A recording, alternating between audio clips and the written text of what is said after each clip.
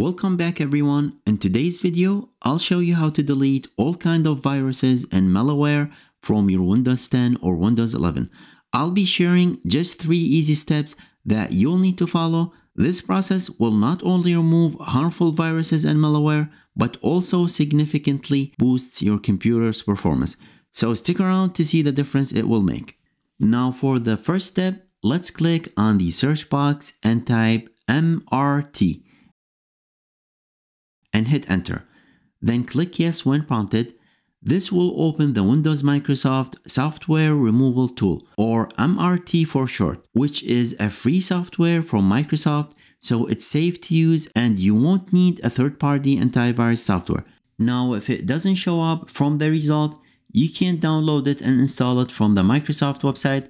I left the link in the descriptions. Click next to process. You'll see three options, quick scan, full scan, and custom scan. Quick scan, just like the name suggests, it's a quick scan that won't take a lot of time. However, I recommend going with the full scan, which does a better job of detecting any infections. Select this option and click next. This tool will then scan all the files and if it finds anything infected or viruses, it will delete them. Now while it's running, it's important to scan for malware as well to do that, let's launch your browser and let's go to this website. You'll also find the link in the descriptions below. And look for the options to download it for free. Click on the download link to begin downloading. I've already downloaded it on my end, so you'll just need to follow the installation wizard. Once the installation is complete, launch the program and click on the scan button to start checking for malware infections on your computer. Now the scan may take few minutes to complete depending on the size of your system and the number of files it need to examine. Once the scan is done, the program will display a list of any malware or suspicious file it has detected. Review the result carefully and select the option to either remove or quarantine any infected file. Another thing we're going to do is to clear out unnecessary files to improve your computer's performance. Click on the search box and let's type clean mgr. From the suggestions, let's click on the disk cleanup.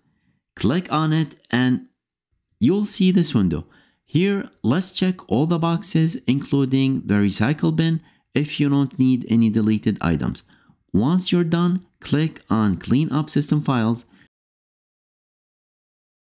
Next, from the taskbar search, let's type run and hit enter. In the run window, let's type temp and hit OK.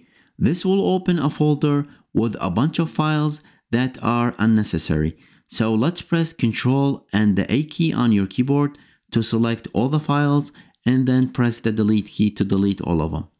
Once that's done, let's close the window and let's reopen the run window. This time let's type percentage sign temp percentage sign and hit enter. And let's delete all these files. So press Ctrl and A key on your keyboard to select all the files and then press the delete key to delete them. And you can't skip anything that cannot be deleted. After applying all these steps, restart your computer to ensure all the changes takes effect. Once restarted, Hopefully, you should have gotten rid of all the infections and you should notice a big improvement on your PC's performance. I hope you found this video useful. If you did, please consider liking and subscribing to my channel for more content like this. Thank you for watching.